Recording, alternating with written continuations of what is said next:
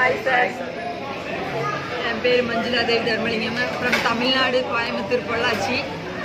இப்போ வந்து பார்த்தீங்கன்னா நான் உங்களை வந்து உங்களோட நிறைய வீடியோஸ் யூடியூப்பில் பார்த்துட்டு இருக்கோம் நாங்கள் வந்து ரொம்ப லைக் பண்ணுறது வந்து நீங்கள் எல்லாத்துக்கும் வந்து காமனாக வந்து ஒரு ஒரு விஷயத்தையும் எப்படி பண்ணணும்னு சொல்லி தர்றீங்க. இதை உங்ககிட்ட நேரில் உங்களை மீட் பண்ணணும் அப்படிங்கிறக்காக நாங்கள் வந்து பார்த்தீங்கன்னா இப்போ இண்டஸ்வா ஹெல்த் சயின்சஸ் ப்ரைவேட் லிமிடெட்னு சொல்லிட்டு ஒரு நெட்வொர்க் மார்க்கெட்டிங் கம்பெனி ஒரு ஒண்டர்ஃபுல்லான கம்பெனியில் நாங்கள் இப்போ ஒர்க் பண்ணிட்டு இருக்கோம்.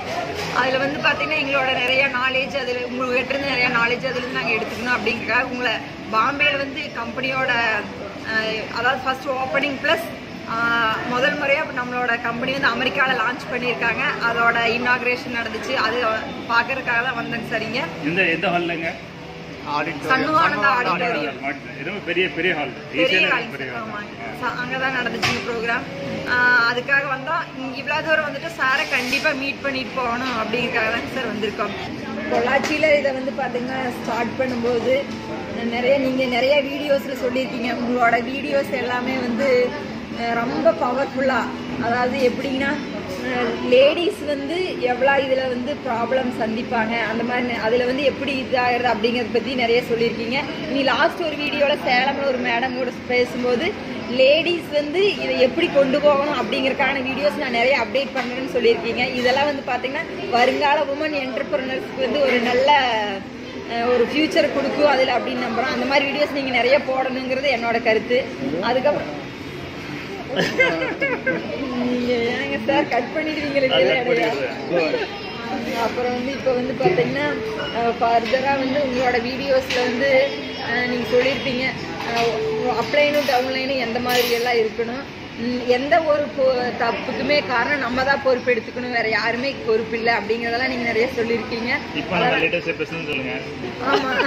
அப்புறம் இப்ப நான் ஒரு டவுட் சொன்னா எங்க ஏரியால யாருமே பிசினஸ் மைண்டடா இல்லைங்க சார் நாங்க என்ன பண்ணாலும் ப்ராடக்ட் ரீச் பண்ணிட்டு வந்துறோம் அப்படின்னா ஆனா அந்த பிசினஸ் மைண்டடா இல்லைன்னு சொல்றதுக்கு நீங்க தான் பொறுப்பு. நீங்க அப்ரோச் பண்றது சரியில்லை. அந்த தப்பு உங்ககிட்ட தான் இருக்கு. அவங்க என்ன மாதிரி வந்து பாத்தீங்கன்னா எந்த மைண்டில் இருக்கிறாங்க அதையே நீங்கள் வந்து தெரிஞ்சுக்கிட்டு அப்ரோச் பண்ணணும் அப்படிங்கிறதெல்லாம் சொன்னீங்க. ரொம்ப யூஸ்ஃபுல்லாக இருந்துச்சு. ஸோ இதெல்லாம் ரொம்ப நாங்கள் லைக் பண்ணுறோம் உங்களை மீட் பண்ணணும் அப்படிங்கிற ஒரு வெறியோட நேற்று எங்கள் ப்ரோக்ராம் நடந்து எல்லோரும் நைட்டு கிளம்பிட்டாங்க. பட் உங்களை மீட் பண்ணிட்டு போகணுங்கிறதுக்காகவே நாங்கள் இன்றைக்கி இருந்து இன்றைக்கி ஈவினிங் தான் கிளம்புறோம். ஸோ வந்து பார்த்தீங்கன்னா இந்த இதில் நான் வந்து இப்போ வளர்ந்துட்டு இருக்கிறது வந்து பார்த்தீங்கன்னா நான் நீங்கள் சொல்லுவீங்க யாரையுமே ஒருத்தர் மென்டராக எடுக்கணும். அந்த மாதிரி அவங்கள ஒருத்தரை வச்சு ஃபாலோ பண்ணால் நல்லா இருக்கு அப்படின்னு நிறைய சொல்லியிருக்கீங்க. நான் என் டீமில் வந்து பார்த்தீங்கன்னா அபுதாகிர் இஸ்மாயில்னு சொல்லிட்டு ஒரு கிரேட் பர்சனாலிட்டி என்னோட மென்டராக எடுத்திருக்கேன். அவர் வந்து பார்த்தீங்கன்னா எந்த மாதிரி எப்படி கொண்டு போகணும் அப்படிங்கிற தெளிவை எனக்கு சொல்லி கொடுத்துட்ருக்காரு ஸோ அது மாதிரி போயிட்டுருக்காட்டி என்னோடய என்னோட சக்ஸஸ் ஓரளவுக்கு வந்துட்டு இருக்குது நான் இனிமே இதில் பெரிய சக்ஸஸ் ஆகணும். உங்களோட நாலேஜ் உங்களோட நாலேஜ் எனக்கு வேணுங்கிறது தான் என்னோட ஆன்சருங்க சார் எஸ் நீங்கள் இதுலங்க சார் நான் இது வந்து நான் ப்ராடக்ட்டு சாப்பிட்டு அதோட ஃபீலிங்கில் தான் உள்ளே வந்தேன் கம்பெனிக்குள்ளே கம்பெனி பிஸ்னஸ் எல்லாம் நம்ம என்னோட ஆசை பெரிய லெவல் ஒன்றும் இல்லை. ஆனால் இப்போ வந்து நான் சாரோட யூடியூப்பில் வந்து பயத்தை கோல்.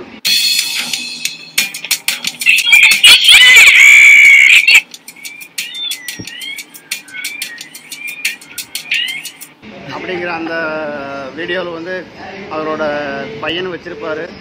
அவர் தலையை இழுக்கும். அது அது நான் ரொம்ப லைக் பண்ணேன். அதாவது பயம் அப்படிங்கிறது வாழ்க்கையில் எந்த நெ- நொடிகளுமே வந்து நமக்கு வாழ்க்கையை பயப்படாமல் இருந்தால் ரொம்ப சிம்பிளாக போகுங்கிறதுக்கு அது எனக்கு ரொம்ப ஒரு கான்ஃபிடென்ட் கிடைச்சது. சூப்பர் சார் எஸ் சொல்லுங்க நீங்க எப்படி வந்தீங்க? இப்போ சார் என் பாப்பாவுக்கு இந்த ஐப்பிள் ஜூஸ் போட்டு என் பாப்பாவுக்கு ஃபுல் ரிசல்ட் எனக்கு கிடைக்குது கிளாஸ் போட்டிருந்து கிளாஸ் கிடைச்சான் எனக்கு சுகர் ஐநூற்றி இருபத்தஞ்சு இருந்தது. அது வந்து இப்போ நார்மல் எந்த இன்ஜெக்ஷன் மெடிசன் எதையுமே போடாமல் இப்போ நார்மல் நூற்றி நாற்பது நூற்றம்பது ரூபா இருக்குது இந்த ஃபுல் அண்ட் ஃபுல் ரிசல்ட் கிடைச்சிங்கன்னா இந்த பிஸ்னஸ்க்கு நான் வந்திருக்கேன். இந்த பிஸ்னஸில் இன்னும் வெற்றி அடையணுங்கிற காரணத்துக்காகவே உங்களை பார்க்க நான் வந்திருக்கேன். பொள்ளாச்சியிலேருந்து. சரி ஓகே உங்களுக்குள்ள சம்பந்தம் அதெல்லாம் சொல்லுங்க. இது யாரு?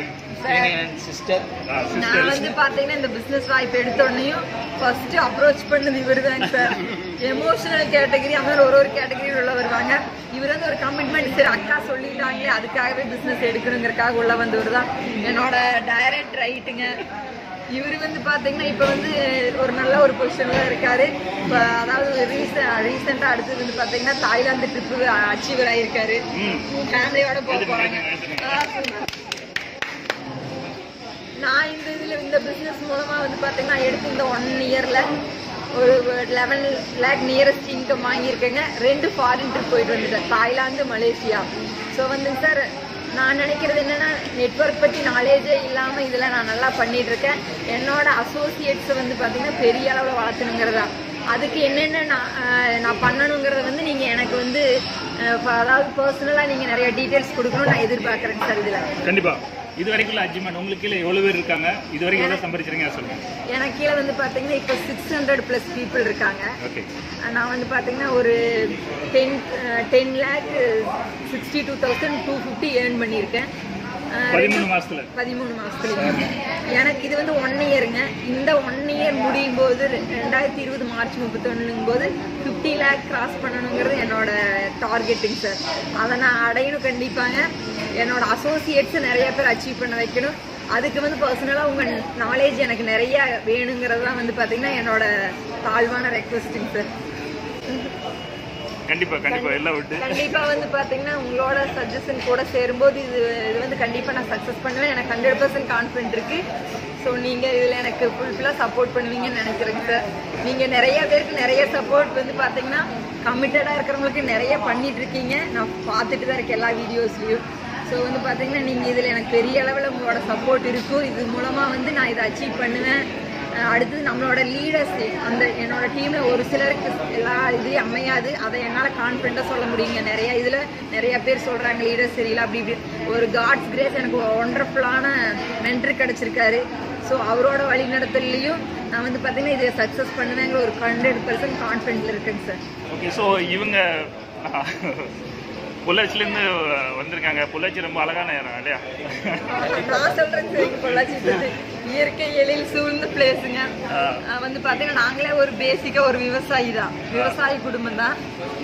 மாடு அதெல்லாம் கூட ஃபேமிலி நீங்க அந்த மாடல்லாம் சொன்னீங்களா? அந்த உணவு பண்ண பண்றது அதெல்லாம் சொன்னீங்க. அதை சொல்லுங்க ரொம்ப நல்லா இருக்கு. அந்த எப்படி சமையல் பண்றது சொன்னீங்க? அதெல்லாம் சொல்லுங்க. நாங்க ஒரு இயற்கை விவசாய குடும்பம் சார்.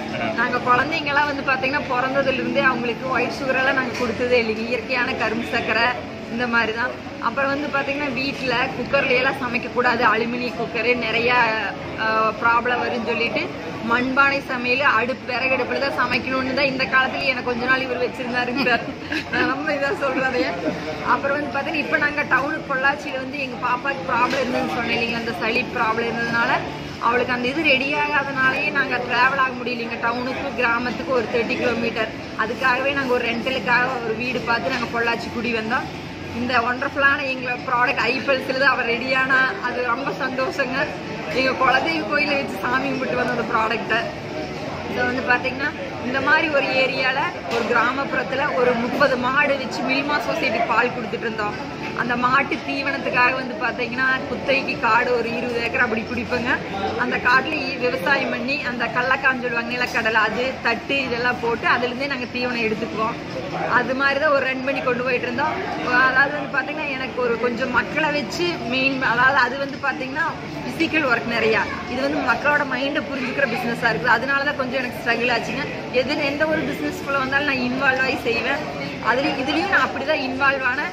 அப்போ வந்து பார்த்தீங்கன்னா இந்த மாதிரி ஒரு இயற்கை எழில் சூழ்ந்த ஒரு மேற்கு தொடர்ச்சி மலை அருகில் இருக்கிற ஒரு ஒண்டர்ஃபுல்லான ஒரு கிராமப்புறத்தில் இருக்கிற ஒரு விவசாய குடும்பம் தான் இந்த அதாவது நெட்வொர்க் மார்க்கெட்டிங் தான் வந்து பெரிய அளவான ஒரு இண்டஸ்ட்ரி அது வெல்னஸ் துறை வளரப்போகுதுன்னு தெரிஞ்சு தான் நான் இந்த ஆப்பர்ச்சுனிட்டிக்குள்ளே வந்தேன். இதில் நூறு பர்சன்ட் வந்து சக்ஸஸ் பண்ணி இதோட சீலிங் லிமிட் ஷார்ட் டைமில் வாங்குவேன். நூறு பர்சன்ட் கான்ஃபிடென்ட் இருக்குங்க சார் இதுக்கு உங்களோட சப்போர்ட்டும் வேணும் சார் இந்த ஊர் சொன்னீங்க எக்ஸாக்ட் ஊர் சொன்னீங்க பொள்ளாச்சி பக்கத்துல? பொள்ளாச்சி டவுன்ல இருந்து வந்து பாத்தீங்கன்னா ஒரு முப்பத்தி ஒரு கிலோமீட்டர் செம்மனாமதிங்கிற ஒரு கேரளா பார்டர் கிராமங்க சார் எங்க ஊர்.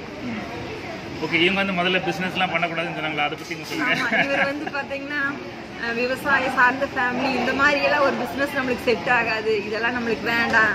நம்மளோட ட்ராக் வேற இது வேற இது போல. நீங்க ப்ராடக்ட் நல்லா இருக்குதுங்கிற பிள்ளைக்கு ரெடி ஆயிடுச்சு. எனக்கு ஓகே நம்ம ப்ராடக்ட் வாங்கி சாப்பிடலாம். பிசினஸ் எல்லாம் போக வேண்டாம். யாராவது வந்து இந்த ப்ராடக்ட் கொடுத்து ஏதோ ஒன்று வீட்டுக்கு முன்னாடி வந்து நின்னாங்கனால ஒத்துக்க மாட்டேன்னு சொல்லி வேண்டாம்னு சொன்னாருங்க. அவருக்கு அல்சர் ப்ராப்ளம் இருந்துச்சு. அதை சாப்பிட அவர் வந்து ஐபிஎல் சாப்பிட ஆரம்பிச்சு அவருக்கு வந்து ஒரு டுவெண்ட்டி ஃபைவ் டேஸ்லேயே ஒரு நல்ல மாற்றம் தெரிஞ்சிச்சு. கார்ல எப்பவுமே வந்து பாத்தீங்கன்னா அந்த ப்ராப்ளத்துக்காக டென் இயரா சுகர் ஜெல் ஜெல்னு சொல்லி ஒரு ஜெல் வச்சுட்டே தான் டிராவல் பண்ணிட்டு இருப்பாரு. அவருக்கு அது ரெடியாச்சு நான் ஸ்பெக் போட்டிருந்த கழட்டிட்டேங்க.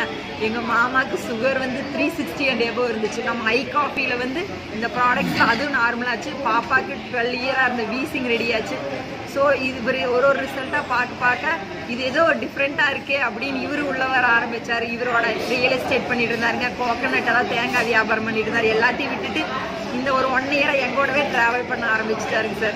கண்டிப்பாக வந்து பார்த்தீங்கன்னா நெட்வொர்க் மார்க்கெட்டிங் இதில் ஒரு பெரிய ஒரு சக்ஸஸ் பண்ணிடுவோம் அதில் நூறு பர்சன்ட் கான்ஃபிடென்ட்டாக இருக்கிறேங்க சார். ரொம்ப சந்தோஷம்.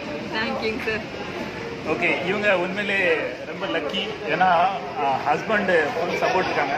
ஃபேமிலி இந்த மாதிரி ஒரு பிஸ்னஸ் நல்லா இருக்கும் இல்லையா? தம்பி அண்ணன் அண்ணன் கூட இருக்காங்க. ஹஸ்பண்ட் ஹைப்ரிட் இருக்காங்க. இல்லையா? பொதுவாக நெட்வொர்க் மார்க்கெட்டிங் வந்து எல்லாருமே சேர்ந்து பண்ணுனா இன்னும் சொர்க்கமாக இருக்கும். அதுவும் ஹஸ்பண்ட் ஒய்ஃப் சேர்ந்து பண்ணால் இன்னும் சொர்க்கமாக இருக்கும். அதுக்கு இவங்க ஒரு கிளாசிக் எக்ஸாம்பிள் ஸோ இது இந்த மூலமாக உங்களுக்கு நான் இதை சொல்லிக்கிட்டேன். ரைட்டா சரியா? ரைட் பார்க்கலாம். Thank you thank you